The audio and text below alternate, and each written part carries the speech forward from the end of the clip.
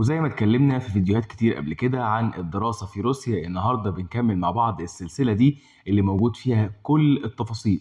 لو دورت على قوائم التشغيل البلاي ليست هتلاقي مكتوب الدراسة في روسيا هتلاقي فيها كل التفاصيل بداية من الرسوم والأسعار والتكاليف وكمان اتكلمنا عن أكتر من جامعة اتكلمنا عن تفاصيل كتيرة جدا في روسيا بداية من الدولة نفسها وعرفنا تفاصيل جواها. والنهارده بنكمل السلسله دي بفيديو مهم جدا عن الجامعات الروسيه اللي بتدرس باللغة الانجليزيه. هنعرف النهارده اهم الجامعات اللي بتدرس باللغة الانجليزيه في روسيا وهنعرف عنها حاجات كتيرة جدا اسم الجامعة والتخصصات اللي موجودة فيها باللغة الإنجليزية والرسوم الدراسية بتاعتها. لكل الطلاب المهتمين بالدراسة في روسيا ده برضو فيديو من الفيديوهات المهمة جدا. لو انت حابب انك تسافر تدرس في روسيا اتفرج على الفيديو ده للآخر. زي ما إحنا متعودين اعمل لايك للفيديو وفعل زر الجرس لو انت ما اشتركتش في القناة اشترك فيها دلوقتي عشان ما أي فيديو جديد. خلينا نبدأ على طول. معاكم إبراهيم من الخوارزمي أكاديمي. يلا بينا نبدأ.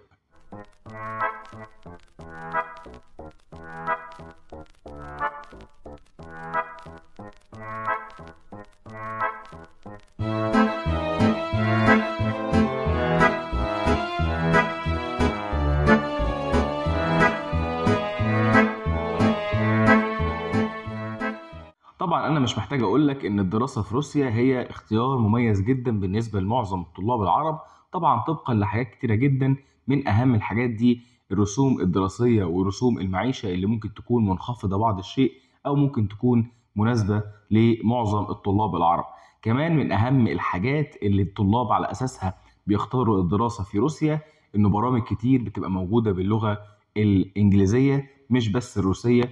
وده بيسهل كتير جدا وبيوفر كمان إن الطلاب مش لازم يعملوا سنة تحضيرية. طيب إيه هي أهم الجامعات اللي بتدرس باللغة الإنجليزية؟ تعالوا نبدأ على طول بأول جامعة وهي جامعة موسكو الحكومية واللي بتسمى برضو Lomonosov Moscow University، لومونوسوف جامعة لومونوسوف موسكو الحكومية اللي هي تعتبر من أهم وأفضل الجامعات الموجودة في روسيا. هنلاقي تخصصات كتيرة جدا متاحة في جامعة موسكو الحكومية باللغة الإنجليزية زي مثلا كلية الطب زي الفيزياء والكيمياء والأحياء زي إدارة الأعمال والاقتصاد وزي كمان علم النفس والعلوم السياسية. كل التخصصات دي موجودة في الجامعة بتدرس باللغة الإنجليزية. والرسوم الدراسية بتتراوح من 4000 دولار لغاية 10000 دولار طبعا على حسب التخصص. ومتطلبات القبول في الجامعة دي باللغة الإنجليزية هي شهادة الثانوية العامة وصورة من جواز السفر ويبقى كويس جدا لو أنت معاك شهادة لغة زي توفل أو ايلتس أو إنك بتعمل اختبار في اللغة زي اختبار كفاءة أو تحديد مستوى في الأول كده. عشان يتم قبولك في الجامعة. رقم اتنين هي جامعة سان بطرسبرج الحكومية اللي كنا اتكلمنا عنها في فيديو سابق لوحدها برضو فيها تخصصات كتيرة جدا موجودة باللغة الإنجليزية. طبعا إحنا كنا عرفنا برضو من الفيديو إن الطب موجود باللغة الإنجليزية كمان في بعض التخصصات البيولوجي والكيمياء وعلم الاجتماع والأدب برضو موجودين باللغة الإنجليزية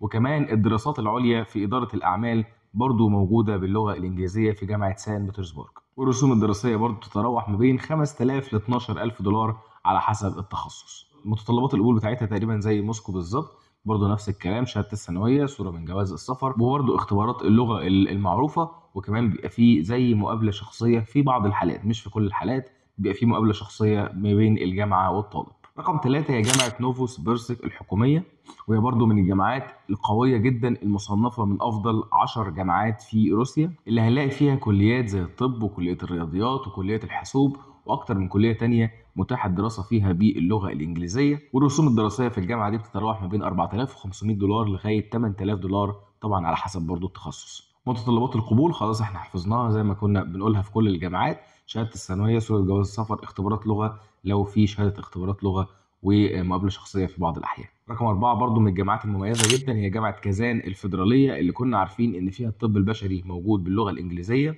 هنعرف كمان إنه موجود باللغة الإنجليزية في البكالوريوس وفي الدراسات العليا لو إحنا بنعمل ماجستير أو دكتوراه برضه موجود باللغة الإنجليزية وبعض تخصصات الهندسة زي الهندسة الميكانيكية برضه موجودة باللغة الإنجليزية في جامعة كازان الفيدرالية. والرسوم الدراسية بتاعتها تعتبر كمان منخفضة عن الجامعات اللي اتكلمنا عليها فهي بتبدأ من 3500 دولار لغاية 7000 دولار على حسب التخصص. وبرضه نفس متطلبات القبول بتاعة الجامعات اللي فاتت.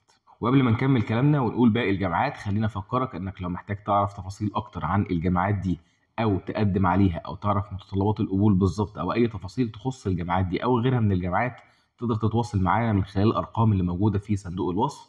ابعت لنا على الأرقام دي في أي وقت وإحنا هنوضح لك كل التفاصيل. ونيجي دلوقتي للجامعة رقم خمسة جامعة روستوف الحكومية. الجامعة موجود فيها تخصصات كتيرة جدا ومنها برامج كتير بيتم تدريسها باللغة الإنجليزية. زي الاقتصاد إدارة الأعمال علم النفس وأكتر من تخصص تاني. والرسوم الدراسية بتاعتها بتتراوح ما بين ال 3000 دولار لغاية 6500 دولار. ونفس متطلبات القبول اللي خلينا نقول إن معظم أو كل تقريبا جامعات روسيا متطلبات القبول بتاعتها واحدة. رقم ستة هي جامعة سيبيريا الفيدرالية واللي موجود فيها برامج برضو موجودة باللغة الإنجليزية برامج متنوعة عن الجامعات التانية يعني فيها مثلا هندسة برمجيات موجودة باللغة الإنجليزية وبرضو فيها برامج الدراسات العليا في إدارة الأعمال موجود باللغة الإنجليزية وأكتر من برنامج تاني والرسوم الدراسية بتاعتها بتتراوح من 3000 ل 7000 دولار حسب التخصص. رقم سبعة هي جامعة الأورال الفيدرالية، جامعة الأورال الفيدرالية برضو اسمها معروف لينا كلنا ومن الجامعات المميزة جدا اللي موجودة في روسيا اللي موجود فيها برامج باللغة الإنجليزية. ومن ضمن البرامج دي مثلا في الهندسة هنلاقي الهندسة الميكانيكية والهندسة الكهربائية بيتم تدريسها باللغة الإنجليزية. كمان بعض المواد الاقتصادية زي إدارة الأعمال وزي كمان المحاسبة برضو بيتم تدريسهم باللغة الإنجليزية بالإضافة كمان للعلوم الاجتماعية زي الفلسفة وعلم النفس. والرسوم الدراسية بتاعتها بتتراوح ما بين 4000 ل 9000 دولار على حسب طبعا التخصص. رقم 8 ونبقى كده بنختم بيها أهم أو أحسن الجامعات اللي بتدرس باللغة الإنجليزية. وطبعا دي القائمه دي مش كل الجامعات اللي بتدرس باللغة الإنجليزية لكن دول أهم أو أفضل الجامعات اللي بتدرس باللغة الإنجليزية في روسيا. فرقم 8 اللي بنختم بيها هي جامعة تومسك الحكومية. اللي موجود فيها تخصصات زي الطب والهندسة والعلوم الطبيعية يعني الطب البشري وطب الأسنان والهندسة الكهربائية والهندسة المدنية وأكتر من تخصص تاني موجودين باللغة الإنجليزية وتعتبر رسوم الجامعة دي رسوم مناسبة جدا لأنها تتراوح ما بين ال 3500 لل 7000 دولار. ده أقصى حاجة 7000 دولار في بعض البرامج بتاعة الدراسات العليا. فطبعا من الجامعات المميزة جدا اللي فيها تقريبا كل التخصصات وموجود فيها حاجات كتيرة جدا باللغة الإنجليزية. دي كده قائمه نعتبر نقول قائمه مختصرة عن أهم وأفضل الجامعات اللي بتدرس باللغة الإنجليزية في روسيا. خليني أقول لك إنك لو من الطلاب الناويين إن هم يقدموا على الدراسة باللغة الإنجليزية في روسيا فلازم أهم حاجة يبقى عندك حاجة من حاجتين. أول حاجة يا إما شهادة لغة زي TOEFL أو IELTS أو أي اختبار قوي جدا في اللغة طبعا أشهرهم هو TOEFL أو IELTS وتاني حاجة لو أنت مش معاك الاختبار ده يبقى أنت لغتك الإنجليزية كويسة جدا.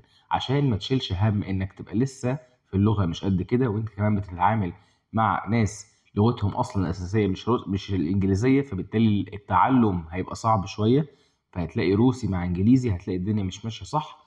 فلازم تكون كويس جدا جدا في اللغة الإنجليزية. لو مش معاك اختبار لغة أو مش معاك شهادة لغة لأنك هتعمل اختبار هناك والاختبار ده هيبقى محدد لباقي كده باقي مستقبلك بعد كده لأنك لو لا قدر الله ما عدتش من الاختبار ده هتضطر إنك تدرس باللغة الروسية وتعمل سنه تحضيرية باللغة الروسية. فهتدرس بلغة أنت مش حابب تدرس بيها اولا ثانيا هتضيع على نفسك سنة بحالها إنك تدرس سنه تحضيرية باللغة الروسية. فأنت لو ناوي تدرس باللغة الإنجليزية حسن نفسك كويس جدا في اللغة. دي كده بعض التفاصيل وبعض الجامعات الهامة اللي بتدرس باللغة الإنجليزية في روسيا وبعض النصايح الهامة برضو لو أنت حابب تدرس باللغة الإنجليزية.